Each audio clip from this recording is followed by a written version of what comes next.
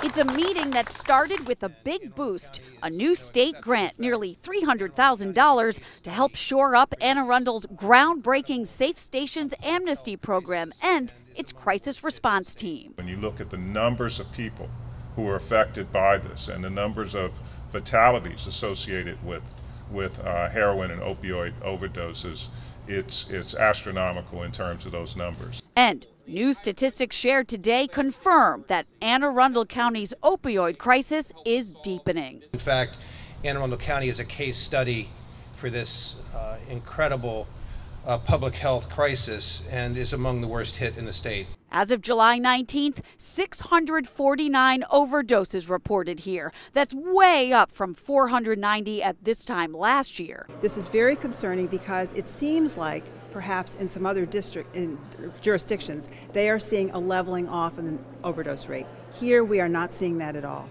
We're also unfortunately, tragically, seeing increases in those fatal overdoses.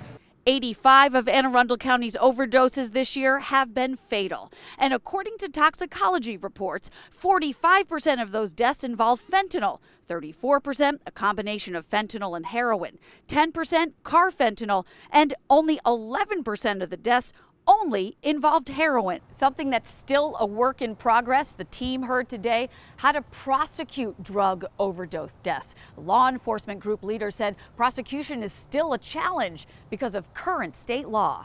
In Anne Arundel County, I'm Kate Amara, WBAL TV 11 News.